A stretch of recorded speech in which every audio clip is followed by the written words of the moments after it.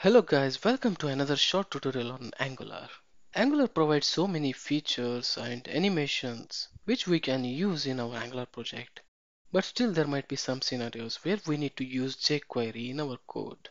In this video I am going to show you how we can use jQuery in Angular. Before using jQuery into our Angular project, we need to import or install jQuery library in this Angular project. There are two methods to get the jQuery in our Angular project. The first method is installing jQuery through npm and second method is we can use jQuery CDN and add that one in app component file.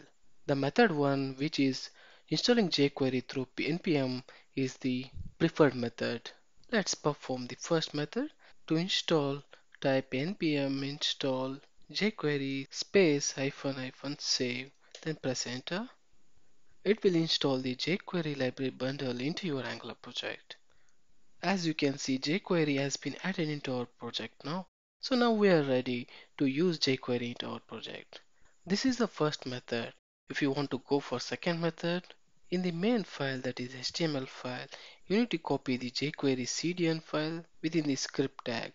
And in Angular JSON file, within this script tag, you need to mention the jQuery bundle. As I said, this is not the preferred way to use jQuery. I will use the first method that is we have already installed the jQuery bundle using npm. So let's use some of the jQuery code so that we can see whether it's working fine or not. Let me remove this script and from app.component file let me remove this script tag. Save this file. Go back to the jQuery component.html. That is nothing but the component which I have created for jQuery example.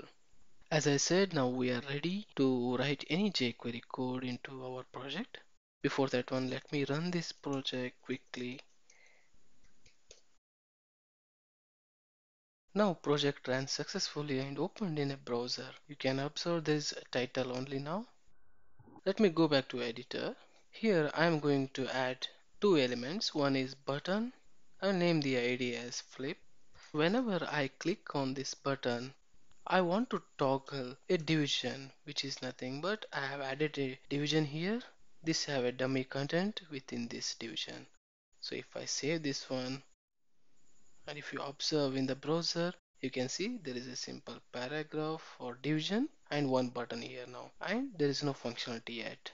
One of the basic functionality that is sliding which I want to apply for this particular division so as soon I click on this button, this should get fade out and when I click on this button again, this should get fade in and display in this particular position.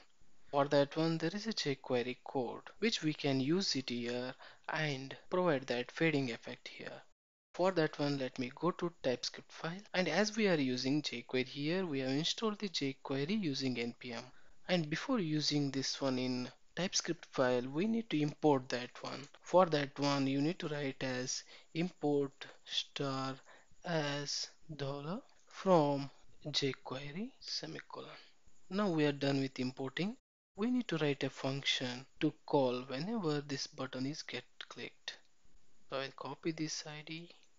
For this ID, I need to write a click function. To write a jQuery, you need to write dollar. Within this one I need to copy the flip that is id and I a click function. So within this one so whenever this flip button is clicked I need to toggle this division. For this division I have named as panel. So let me copy that one and go back to the jQuery code. Here I need to add that one. And we have a jQuery code slide toggle and within the bracket add a slow. So this is a jQuery code which will toggle this particular division panel whenever we click on flip button. So now we are done with the code. Let me save this. It's getting compiled now. Go back to browser. Angular will refresh the page automatically. So now if I click on this one, you can observe there is a functionality or feature added. That is fade out effect which has been added for that particular division. If I click on this button again, it's getting fade in. So this is a toggle functionality which we have in jQuery. This is a simple example which I have shown here which we can add using jQuery within our Angular project. You can build many features based on your requirement. Thank you guys for watching this video. If you like this video, please click on like button, share it to others and subscribe to my channel.